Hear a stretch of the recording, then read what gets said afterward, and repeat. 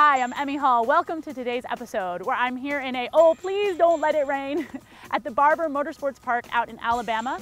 Now, Barber Motorsports Park also has an awesome vintage museum. We've got the sign right back here. So if you haven't had a chance to check it out, you should. But the story I'm here for is this, the 2013 Porsche Boxster S. Now, this has been on my top 10 list for forever, so I'm so happy to be able to get into this car.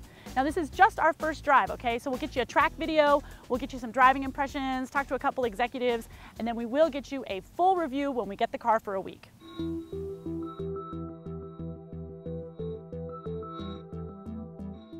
There's a couple of styling notes that I do want to point out here on the Boxster. First of all, this sideline is taken from the Carrera GT and it's fantastic. I really love these air scoops on the side. Also, the story here in the back are about this integrated spoiler that goes right into these LED taillights. It certainly is distinctive and it really lets everybody know that you are out there in a Porsche Boxster. So Porsche has given us the PDK transmission to test out. Now, those of you who know me know that I love, love, love my manuals, but I will have to say if you're gonna go with a dual clutch transmission, the PDK is the one that you want.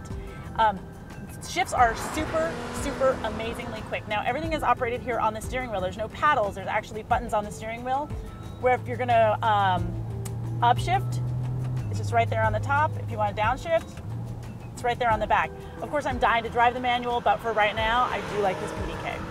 So the Boxster S has got a 3.4 liter six cylinder engine, which produces 315 horsepower, which is five more than last year, and 266 pound feet of torque.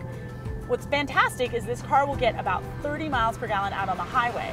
And a couple of ways that they were able to do that is a start stop technology. So when I stop the car completely, the engine will cut off and then, there it goes.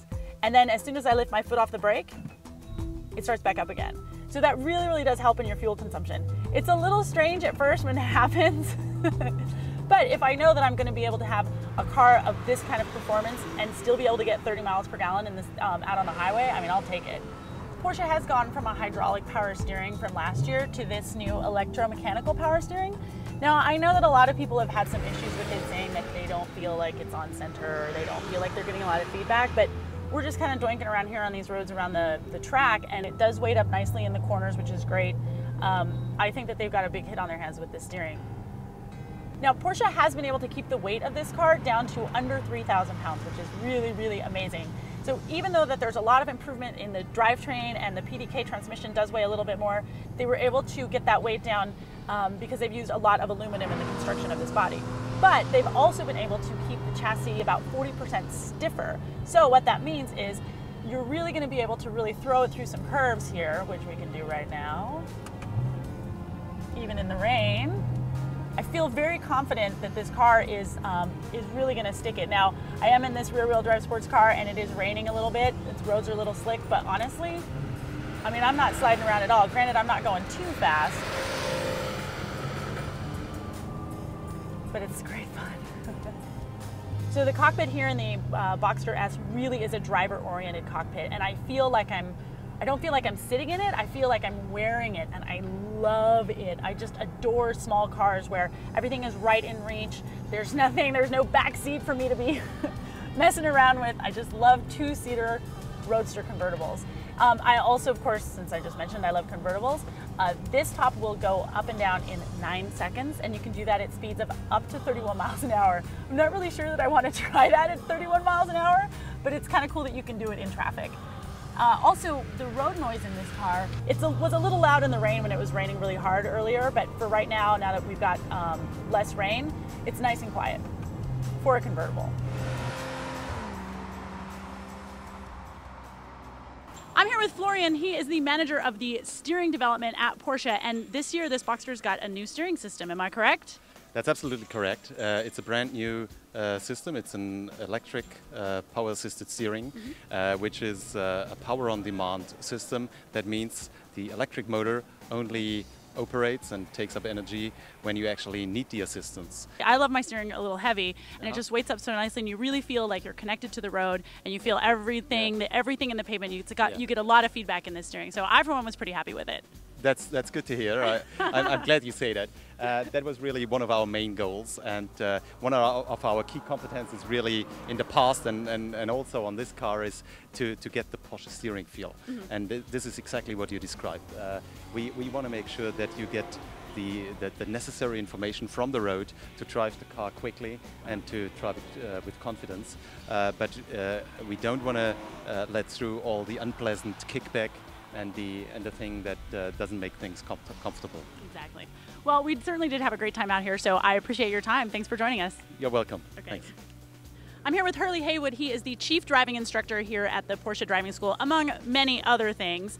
And um, we're about to get this car out on the track. So, what do I need to know to get this car around the track in the shortest amount of time possible? I, I, vision, I think vision training, training your eyes to do the right thing. Your eyes tell your hands and feet what to do. So you got to be looking at the right thing to instruct the car to make the right move. So it's cool that I like play a lot of video games. Video helps.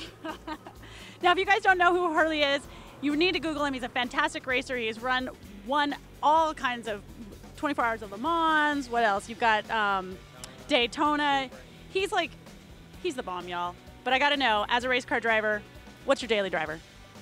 I of Porsche, of course. so he drives a Porsche to work and then he drives Porsches at work. That's awesome. Thanks so much for your time, Hurley. I appreciate it. Thank you. So I know many of you would like to know, would I personally buy this car? And the answer is, oh my God, yes. this car fits every requirement that I have as a daily driver.